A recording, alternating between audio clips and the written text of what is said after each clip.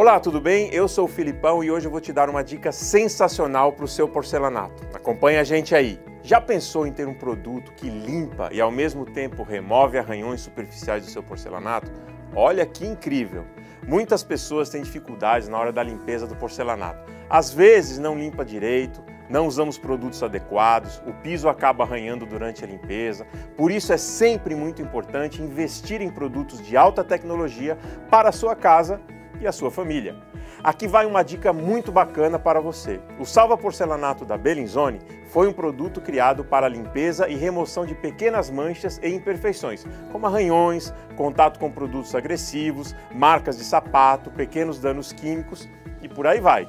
Esse produto possui partículas de finos grãos polidores em sua fórmula, que permite um leve polimento manual, devolvendo a beleza do material com fácil aplicação.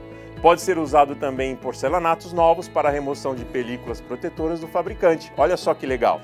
O salva porcelanato da Bellinzone também pode ser utilizado na limpeza do seu rejunte. Aquele que está bem sujo, sabe? Aquele que está bem encardido, é um grande aliado na remoção dessas sujeiras impregnadas, diminuindo a porosidade do rejunte, evitando uma nova impregnação de sujeira também. Mas atenção, esse produto deve ser utilizado somente em materiais de cores claras. Nos materiais escuros, recomendamos fazer um teste em uma pequena área antes do uso, para não haver alteração na cor. Agora vamos entender como o salva porcelanato da Belizone deve ser aplicado. Antes de usar, agite bem o produto. Depois, esfregue um pouco na superfície e deixe agir por 5 minutos.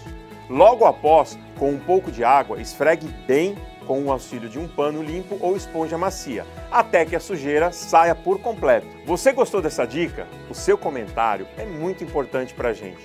Deixe um like antes de sair desse vídeo. E ó, não improvise, use a Bellinzone. Obrigado por assistir e até o próximo vídeo com mais dicas aqui na Bellinzone.